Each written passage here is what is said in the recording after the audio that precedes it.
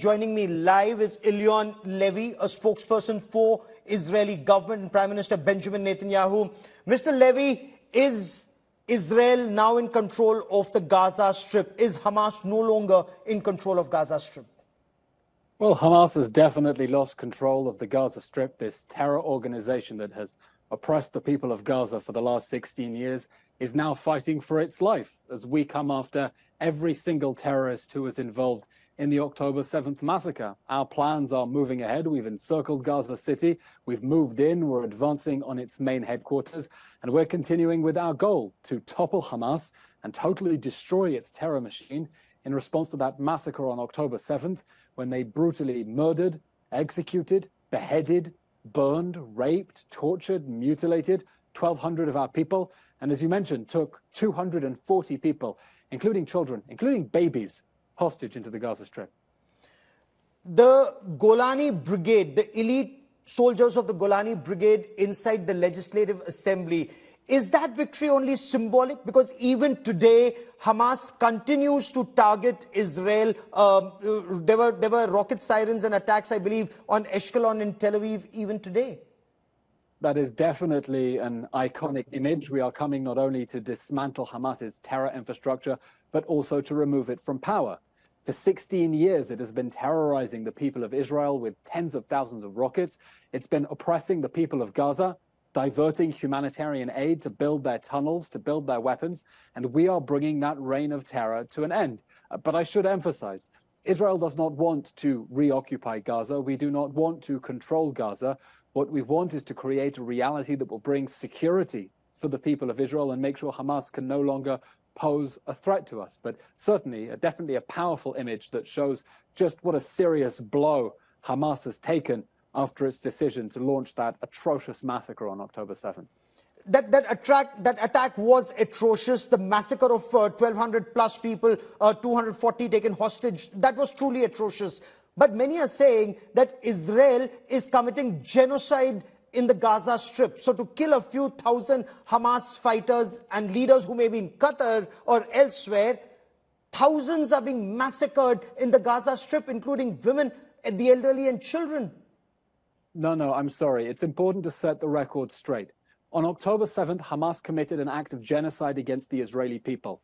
It invaded with death squads, intending to murder as many people as they could, and they executed them in the most brutal way imaginable. This was a campaign of systematic extermination by a terrorist group that openly vows that it wants to murder all the Jews. That is Hamas. It is a genocidal terror organization, and we are fighting it so that it cannot attack our people again and cannot commit another act of genocide against the Jewish people. Now, in order to do that, we are targeting Hamas. We are targeting the monsters who perpetrated October 7th. And we're doing everything we can to get civilians out of harm's way inside the Gaza Strip. That's why for a month now we've been urging them to evacuate south for their safety. It's why for a week now we've been putting in place humanitarian corridors to enable people to leave the danger zone in northern Gaza. It's why our own soldiers have been putting their lives at risk to secure Palestinian civilians so they can evacuate. The problem is that Hamas has a deliberate strategy of human shields. People don't understand how sick and twisted Hamas's strategy is. Hamas has spent 16 years embedding itself underneath schools, underneath hospitals, underneath homes, underneath mosques, because Hamas wants people to die. Sir, Hamas leaders so if you want to kill openly, Hamas, they want to martyr, want to they want to martyr and sacrifice but there are their thousands people, and of that is a civilians, strategy. non-combatants who are being killed in this combat. And Israel and is being accused, if you permit me, sir, Israel is being accused of starving Gazans, not giving them water, not giving them food, not letting medicines and fuel get across, Mr. Levy. I'm sorry, these are obscene accusations by people who clearly cannot open and read a newspaper.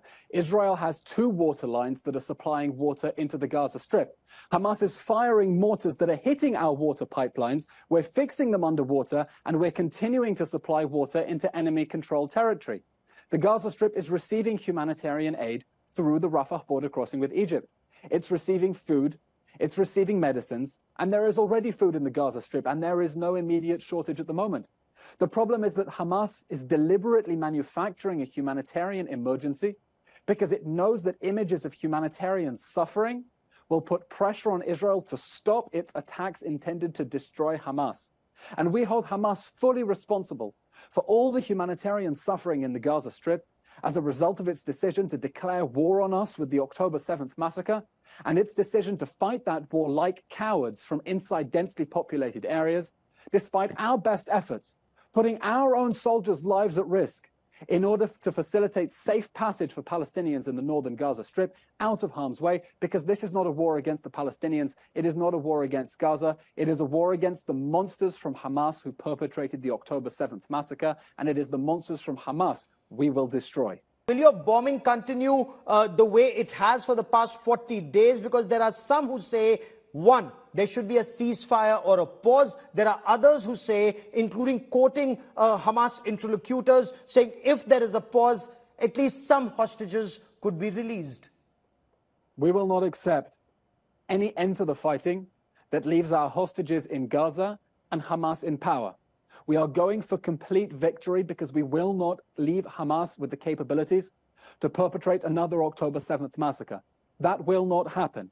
The October 7th massacre was the straw that broke the back of a very strong camel. Now, will we consider a small pause in order to get our hostages out of the Gaza Strip? If there is a serious option on the table, a serious proposal, we will, of course, consider it. But this war will end with Hamas removed from power. This war will not leave the baby burning, baby beheading, baby abducting terrorists from October 7th in power in the Gaza Strip, free to attack our people again. We will end its reign of terror. Mr. Levy, can you give us a roadmap? How long will your operations continue now that Israeli forces are in control of Gaza City and the parliament uh, building? How long will your operations continue? Will, will the Israeli forces move all the way down to the Rafah border? This war will last as long as it takes. Not a day more, not a day less. I wish I could tell you that this would be over tomorrow, and it would be if Hamas emerged from its terror headquarters underneath the Shifa hospital, waving a white flag and surrendered. But since it seems that Hamas is determined to fight to the very last man, we will fight them. They declared war on us, and we're going to win that war. It's going to be long. It's going to be difficult. None of us want to be in this situation. We have 350,000 people in reserves, pulled away from their families, pulled away from their jobs so they can go and fight. Obviously, we want them home. Obviously, we want to go back to our lives and rebuild this country. But that job of rebuilding this country will happen after we destroy Hamas, however long it takes. What does victory mean for you in tangible terms? How will you declare what is victory for you? The total destruction of Hamas's governing and military capabilities inside the Gaza Strip. Victory will mean that the Gaza Strip can never again pose a security threat to Israel. You know, a decade ago, when ISIS captured territory in Syria and Iraq, 86 nations came together to wipe out ISIS and to take away its territorial control because they realized that such an evil terrorist organization can never be allowed to hold territory from which to attack innocent people around the world. And just as the world defeated ISIS, we are going to destroy Hamas. The only difference is this is, of course, much closer to home. Unlike the US or the UK flying half the way around the world to fight ISIS, this is literally our backyard. We have soldiers in the Gaza Strip, and if they do not stop that Hamas terrorist right now from shooting that rocket, he will shoot that rocket and hit that soldier's home just a few miles away. So we're going to wipe out Hamas like the world wiped out ISIS. We will bring to an end its reign of terror inside the Gaza Strip. Does that mean destroy sure that every Gaza... tunnel, go underneath that Al Shifa hospital, destroy that command and control structure, wipe out every fighter? That could take that could take forever. It took uh, eight months to a year to wipe out ISIS from Mosul and Raqqa. That is exactly what it means. Yes. So eight months to a year is that the time frame you're giving for this? That continuous pounding will continue for eight year, eight months to a year. I'm not going to speculate on a time frame. You proposed that time frame.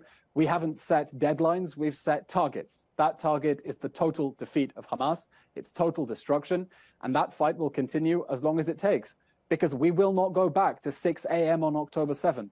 We will not go back to a world in which Hamas can decide whenever it wants to invade Israeli villages on the border, burn whole families alive in their homes, torture children in front of their parents, parents in front of their children, abduct babies into the Gaza Strip, that will never happen again.